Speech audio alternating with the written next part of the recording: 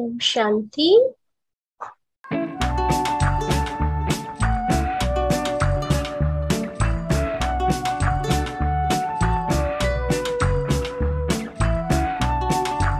ટેકનેટ રોલમાં ખજૂર આવી રીતે ચોપ કરેલી. આ બહુ જ ઇઝી છે ચોપ કરવાનું. ફૂડ પ્રોસેસરમાં આપણે થોડીક થોડીક ખજૂર નાખીએ, એની ફ્લોર બોટમ કવર થાય એટલી એટલી જ બહુ, અને પલ્સ કરી કરીને જોતા રહેવાનું. બહુ જ સુંદર બે ચાર મિનિટમાં જ આવી સરસ કપાઈને રેડી થઈ જાય. કાજુ, બદામ, પિસ્તા એને મેં રોસ્ટ કરી લીધા છે અને મેં એને આખા રાખ્યા છે. સો આપણે જોઈશું કે આખા રાખવાથી શું ફરક પડે છે. અને પછી એની અંદર આપણે એક સિક્રેટ ઇન્ગ્રેડિયન્ટ છે જે એની આખી ફ્લેવર જ બદલી કાઢે. તે છે જાયફળ. નટમેગ એ નાખીશું તો ચલો, હવે આપણે ખજૂર રોલ બનાવીશું. અને આટલી બધી આઈટમ બનાવી છે પણ તમે જોઈ શકો છો કે મારું વાસણ જે મેં લીધું છે, એકનું એક જ છે. અને ખૂબ જ મેસ બી નથી થતો. અને ઇઝીલી એક જ પોટની અંદર આપણું બધું કુકિંગ થઈ જાય છે. હવે યુઝ્યુઅલી આને છે ને, જે બી વાસણ વાપરીએ એને થોડું ગ્રીઝી કરવું જરૂરી છે કે કંઈ પણ, જે બી આપણે ઓલિવ ઓઇલ લઈએ કે ઘી લઈએ કે કંઈ પણ લઈએ, પણ આ ઓલરેડી ગ્રીઝડ જ છે. સો આમાં હવે કશું એવું નાખવાની જરૂર નથી. અને વાસણ બી ગરમ જ છે. તો થોડીક વારમાં આ ખજૂર બધી ગરમ થઈ જશે.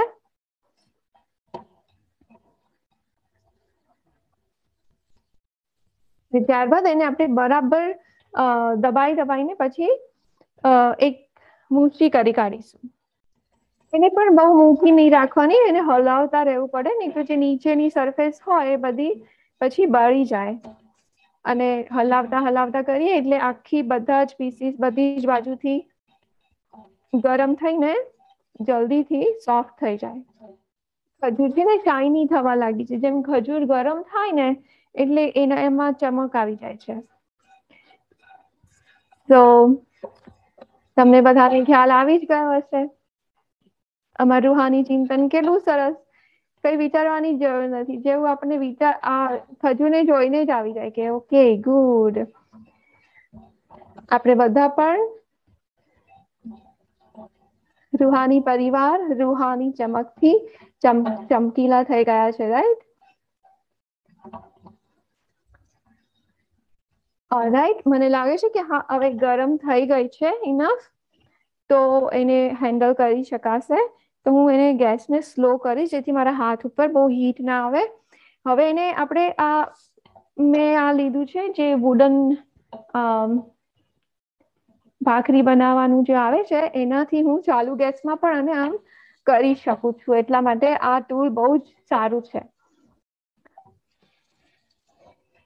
આપની પાસે નહીં તો વુડનો તાવેતો હોય કે જે આમ જલ્દી વળી ના જાય એવી વસ્તુ હોય, એનાથી પણ આ કરી શકાય છે. બધી જ ખજૂર ઓલમોસ્ટ મુશી મુશી થઈ ગઈ છે.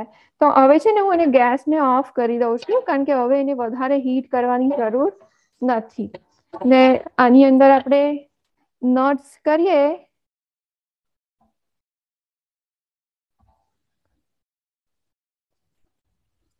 એની પહેલા આપણું જમાકેદાર સુગંધીદાર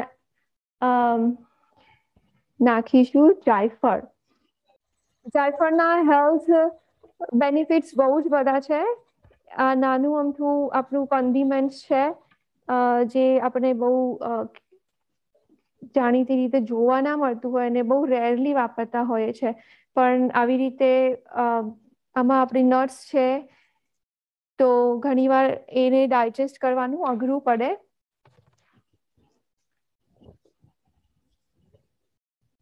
તો જાયફળ નાખવાથી એ ડાયજેશનમાં એડ કરે છે.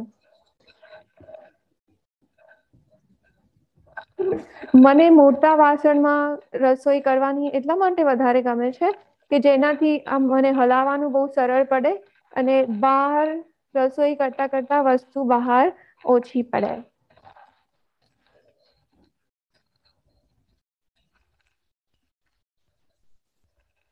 સો આ સરસ નોટ્સ બધા આની અંદર આવી ગયા છે.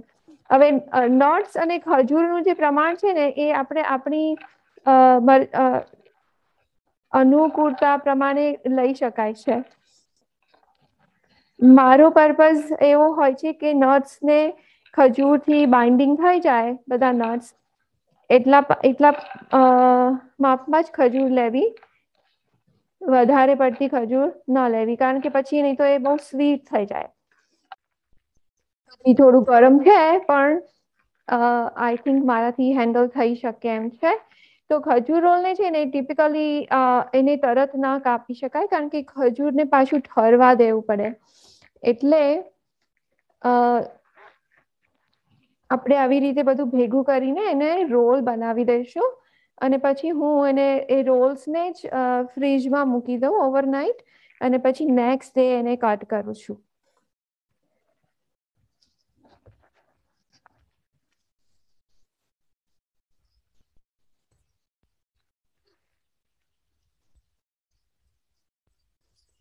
બીજો એક આઈડિયા છે કે આપણે એને સ્ક્વેર્સ બી પાડી શકાય. જે મેં આવી રીતે કરીને રેડી રાખ્યા છે, જે હું હમણાં પછી બતાવીશ.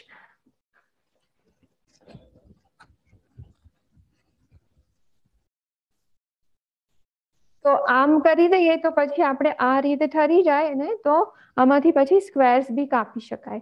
ક્યાં તો આપણી પાસે નાનું અમથું સ્ક્વેર અથવા તો જેટલું હોય આવી રીતનું આપણું જે મીઠાઈ પાડવાનું જે હોય કે બેકિંગ ટ્રે હોય, કશું બી હોય કે સ્ક્વેર ડબ્બો હોય કાચનો કશાયમાં બી આપણે આવી રીતે એને મોલ્ડ કરી શકીએ અને પછી આ રીતે હવે એ જ્યારે ઠંડુ થઈ જાય પછી હું એને ફ્રીજમાં મૂકી દઈશ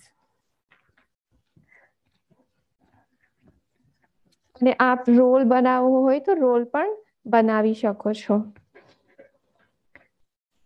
ચલો આ થઈ ગયો આપણું રોલ પણ ઓલમોસ્ટ રેડી જ્યારે આ ઠરશે ને એટલે એ એકદમ જોઈન્ટ થઈ જશે અને પછી બહુ જ ઇઝીલી એને આપણે કાપી શકીશું અને કાપવા માટે એકદમ શાર્પ નાઈફ હોય તો સરસ રીતે કપાય છે.